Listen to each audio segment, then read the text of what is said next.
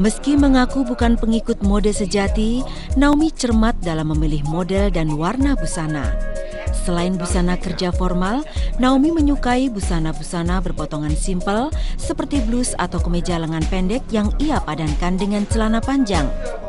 Sebagai aksesorisnya, Naomi menyematkan anting kecil yang memberi sentuhan feminim.